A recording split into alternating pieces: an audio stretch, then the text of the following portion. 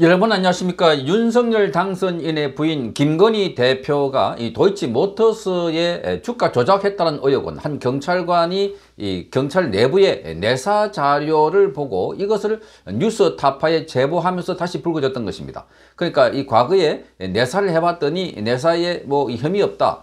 라고 해서 내사 종결이 된 사건인데 이걸 안에 있는 경찰관이 제보 보고 어, 이거를 공익 차원에서 본인이 제보했다고 하면서 이 뉴스 타파에 제보하게 됐고 또 뉴스 타파에서 이 관련 내용을 보도하게 됨으로써 다시 점화되어서 어, 떠들썩하게 된 것입니다.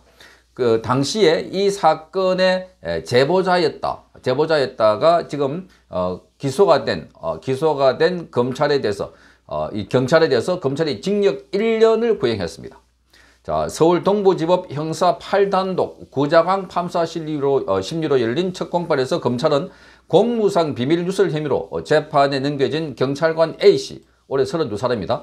A씨에게 이같이 구형했습니다. A씨는 지난 2019년 9월달에 동료 경찰관으로부터 김건희 씨가 언급된 내사 보고서를 건네받아서 뉴스타파 등 두개 언론사 기자에게 유출한, 유출한 혐의로 아, 지난달에 불구속 기소가 되었습니다.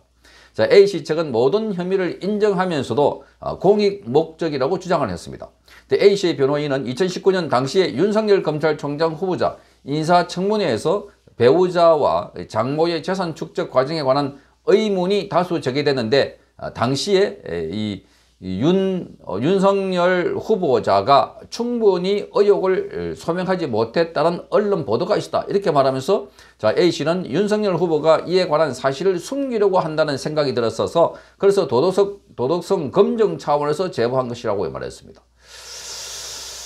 자, 이걸 보면 어, 검, 경찰이 예, 자기들이 수사를 하고 그리고 안에서 이 내사 종결한 자료를 가지고 또다시 이 뉴스 타파라고 하는 친정부 성향, 어, 자편향된 매체라고 알려져 있는 여기에 제보했다는 것 자체가 자, 이 경찰이 하지 말아야 할 짓을 한 것이다. 그러니까 이 경찰 안에 있는 경찰 공무원들이 자, 특정 매체와 연결돼 가지고 어, 안에서 수사한 자료라든지 내사 자료라든지 이걸 빼돌려 가지고 제보했다는 것은 자, 그쪽 진영에서 열심히 일했다는 겁니다. 그쪽 진영에. 그러니까 이 경찰관도 자, 사실상 어, 안에서 경찰 일을 하고 있지만 이 뉴스 타파에 관련 중요한 기밀들을 어, 이 제보할 정도면 뉴스 타파와 같이 이 자편향된 인물이 아닌가 이렇게 보여진 겁니다.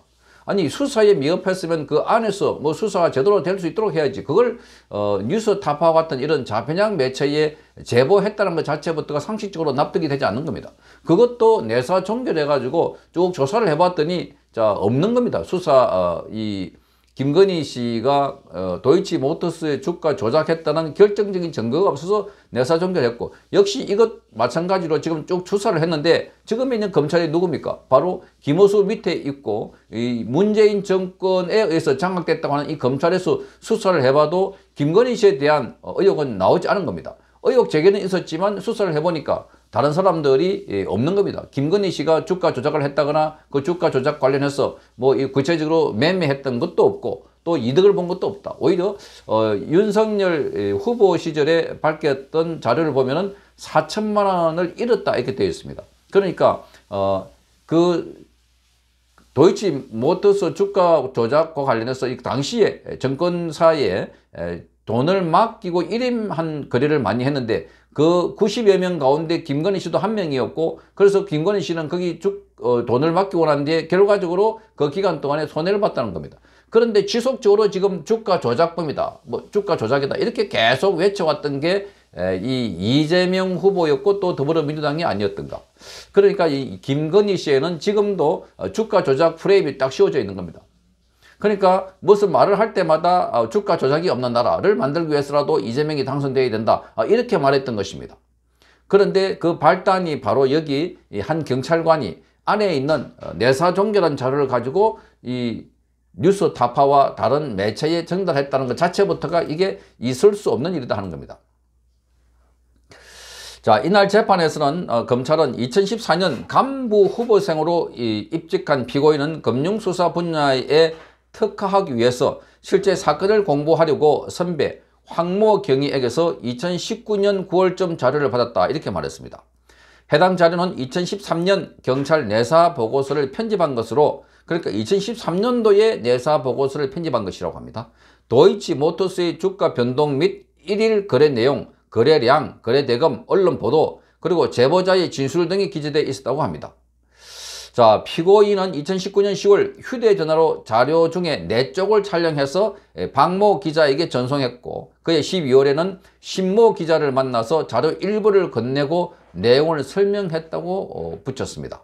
자, 자, 그런데 송 씨 측은 혐의와 증거를 모두 인정했습니다. 자기가 잘못했다라고 인정하면서도 자, 오로지 공익 차원에서 언론사에 제보한 것이라고 주장을 했습니다.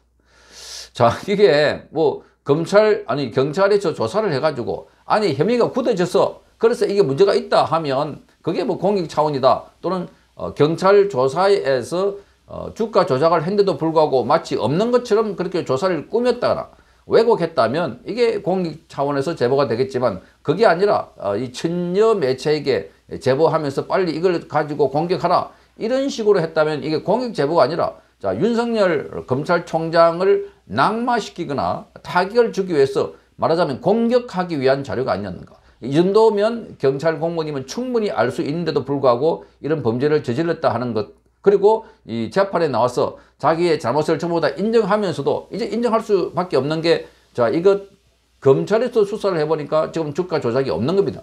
그러니까 다 이 공익 제보라고 또 둘러대고 있는 것 아닌가 하는 생각이 듭니다.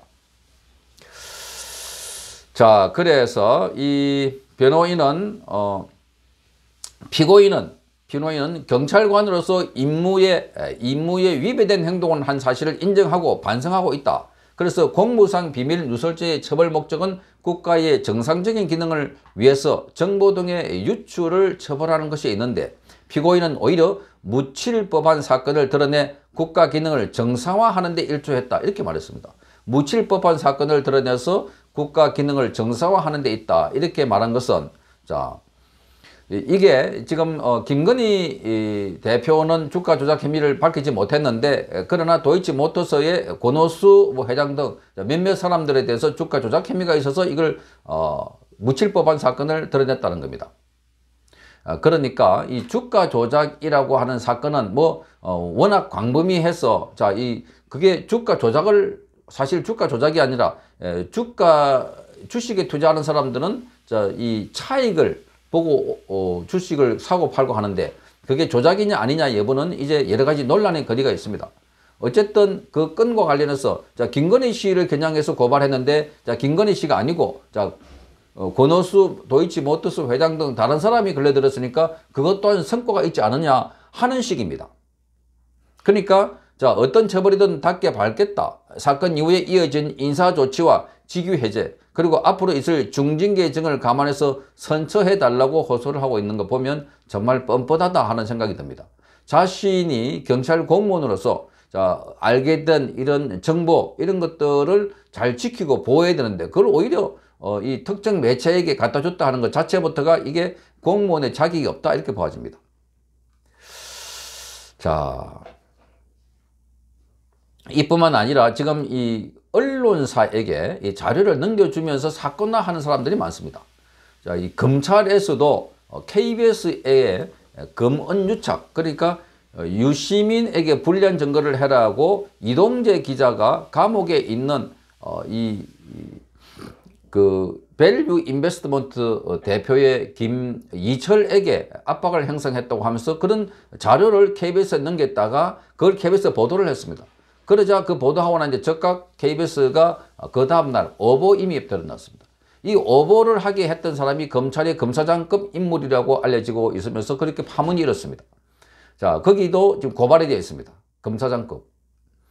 그리고 어, 한동훈 검사장은 관련된 KBS의 보도 오보와 관련해서 자, 관련된 어, 이 기자와 간부들에 대해서도 고발을 해놓고 있고 또 5억 원의 손해배상 청구 소송을 해놓고 있습니다.